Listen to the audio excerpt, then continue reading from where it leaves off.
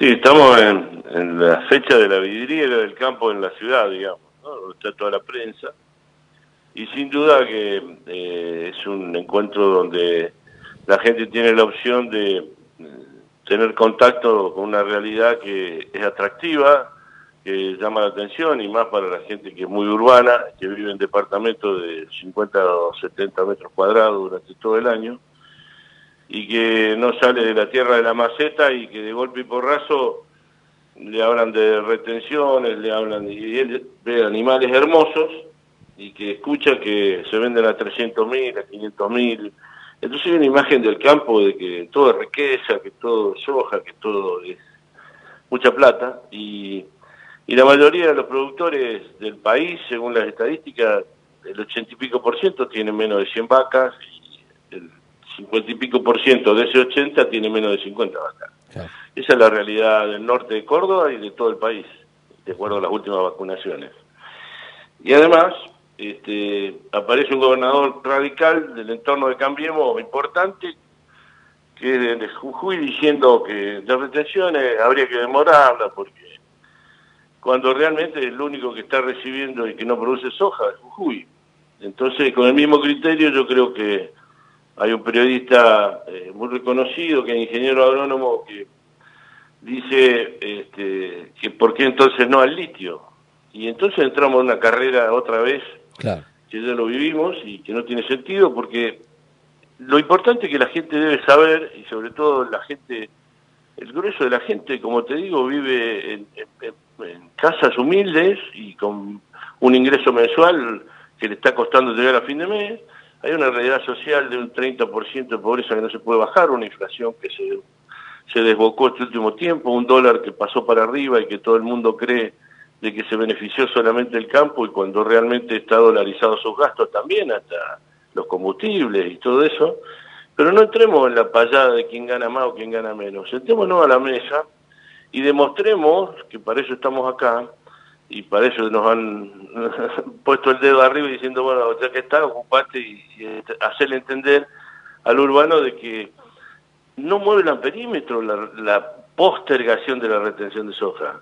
Podría moverlo si volvieran a ponerla, pero es, es castigar a los, a los ingresos de un país entero que ha sido una fuente de recursos genuina y que no es extracción de una tierra, de la tierra como la minería.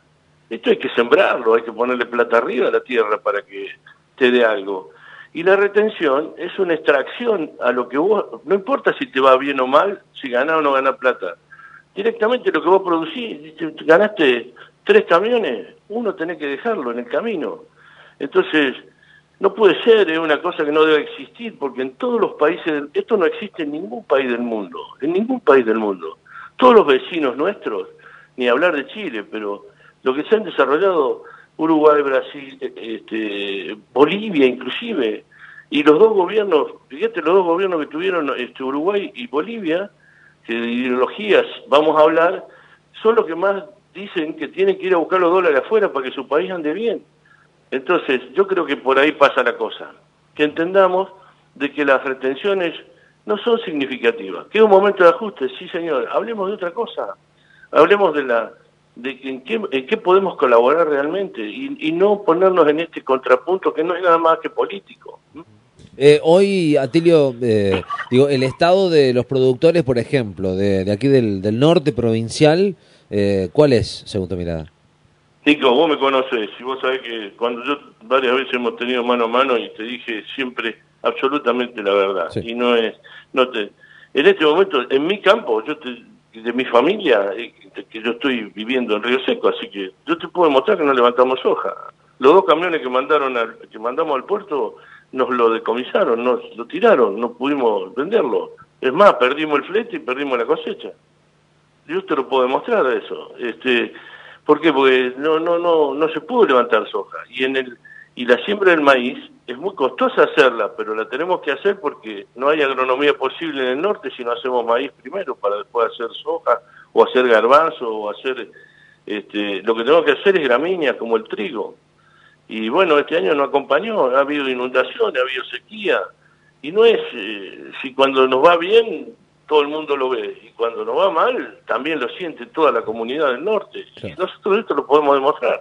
Sí, sí, sí. Eh, se cumplieron hace, hace muy poquito tiempo, eh, se cumplió un, un, aniversario de aquel, aquel momento de, las, de la resolución 125. Bueno, hubo análisis de todos los tipos. Eh, ¿Cuál es tu análisis a, a una década de, aquellos hechos? Mira, yo miraba el otro día ese programa y, y también participé del acto. Y ver a todos estos viejos queridos, porque son viejos queridos, son viejos este, que al final, con diferencia hasta, hasta ideológica, en cierta manera, aparte de eso, se han puesto de acuerdo con un denominador común. Yo creo que en aquel momento nos unió el espanto. Lo que sí creo de que, primero que no lo quiero volver a vivir jamás, y segundo que no le hizo para nada bien a nadie, ni al país, ni al gobierno de turno, y y mucho menos nosotros, porque nos dieron un rol de justicieros este, sociales que no lo tenemos, simplemente somos parte de un conjunto de cosas y lo que queremos, o que lo único que sabemos hacer es producir y gastarla acá. La mayoría de la plata del campo está acá, está dentro de los campos, puerta adentro, puerta afuera, en la casa o en la, en la camioneta, no se la llevan afuera. ¿Por qué no nos procuramos ver todos los negocios financieros de este país? ¿Y por qué no no nos ponemos a pensar si los profesionales que nos rodean normalmente, con los que tratamos, eh, que me disculpen, abogados, escribanos, médicos, todo eso, te dan recibo de lo que vos pagás. El, el, problema más serio de este país es que no es el campo, es que hay un más de un 50% de una economía en negro que no se puede arreglar. ¿Por qué? Porque los impuestos son demasiado altos, y todo eso es lo que desde Presidencia de la Nación lo está diciendo que no lo pueden no lo pueden acomodar. Y si vos hablas, como habló Kra hace pocos días con el presidente, te dice, no solo mi equipo, hemos consultado a los mejores economistas de todo el mundo, de izquierda, de derecha, de, de intermedio, de todos lados, y nunca nadie pensó que con el entorno y con las posibilidades que tenía Argentina podía estar pasando lo que pasó. Por eso estamos todos preocupados, porque el presidente está preocupado y lo transmite que está preocupado. Y no es porque no sepan y no tengan ganas y porque sean unos malditos. ¿Quién mejor que ellos tienen ganas que las cosas salgan bien? Me parece, ¿no? Lo que pasa es que acá hay muchos intereses muy fuertes y no puede ser que la deuda externa nuestra esté en manos privadas, escondida bajo un colchón o afuera del país. Entonces hay alguien que está haciendo mal las cosas. Tenemos que mirar un poco para adentro y, y mirarnos cada uno de los argentinos que es lo que estamos haciendo. Esto de, los profesionales que planteabas, eh, por ahí es, serio, ¿no? Digo, hay mucha parte de la economía que puede eh, esquivar, digamos, los controles legales.